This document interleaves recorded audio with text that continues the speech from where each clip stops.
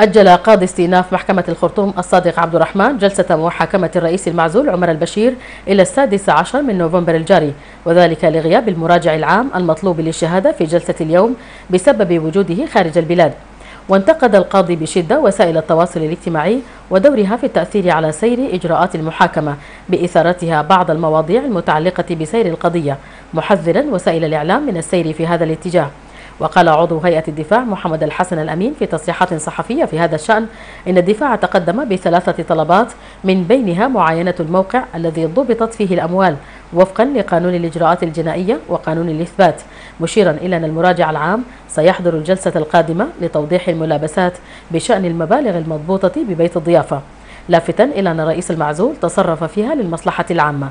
وانتقد الأمين وسائل الإعلام بشدة لإثارتها وقائع اعتبرها ذات أثر سلبي على الشهود والعدالة وسير المحاكمة.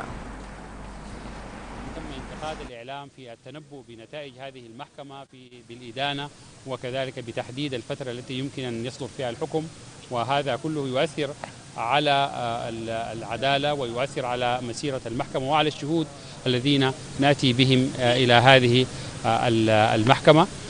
كذلك أيضا تقدمنا بتقرير الأمم المتحدة ممثل الأمم المتحدة الذي زار السودان وأثره على الوضع الاقتصادي في السودان أثر المقاطعة والتي أثرت. ومن ضمن هذا الأثر أن المبالغ تأتي نقدا إلى السودان ولا يمكن تحويلها نتيجة لأن كل البنوك تخشى من العقوبات الأمريكية التي تصدر تجاه كل من يقوم بتحويل أي مبالغ للسودان.